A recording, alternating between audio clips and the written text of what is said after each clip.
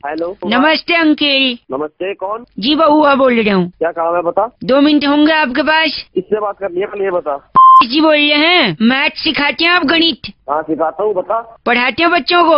हाँ बता पढ़ाता हूँ मैं। और वो पढ़ते भी हैं। तू चाहता क्या है? मैं भी मैथ्स पढ़ना चाहता हूँ। पापा ने बोला कोई अच्छा टीचर पकड़ ले। तो क्या मैं फ़ोन पे पढ़ा दूँ तेरे को? नहीं फ़ोन पे नहीं। लेकिन उससे पहले कि मैं आपको पापा से मिलाऊं हाँ हेलो मैं खुद ये देखना चाहता हूँ कि आप पढ़ाने के लायक हैं या नहीं। ओ नारायण मेरी पढ़ाने की वो देख रहा है तू है?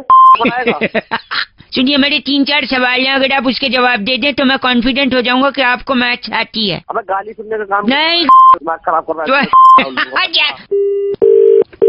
हेलो? सॉरी अंकिल गलती से फ़ोन कट गया था। अबे गलती से फ़ोन नहीं कटा मैंने काटा अच्छा। अच्छा है और कटने का काम कर रहा है तो गॉड नहीं मैं पूछ रहा हूँ तीन चार सवाल बता दो ना पता चल जाएगा मैं ठाती है नहीं आपको। अबे मन मत तुझे काय घूम रहा है तू है? सॉरी।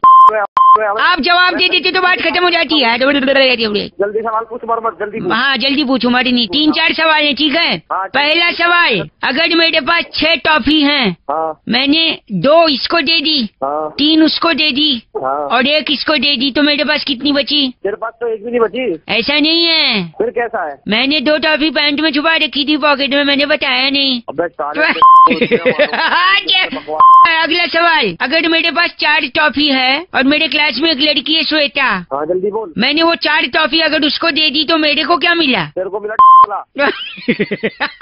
नहीं सच्ची बताइए क्या मिला? तेरे को नहीं मिलेगा ना कुछ भी। कुछ नहीं क्यों? मुझे तो गर्लफ्रेंड मिलेगी। तेरी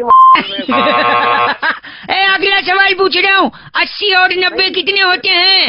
एक सौ सत्तर होते हैं बोल। नहीं एक सौ सत्तर नहीं गलत जवाब। सौ होते हैं। सौ कैसे होते हैं? अकड़ बकड़ बम्बे वो अस्सी नब्बे फूटे। सौ। तो एक सौ सत्तर कैसे?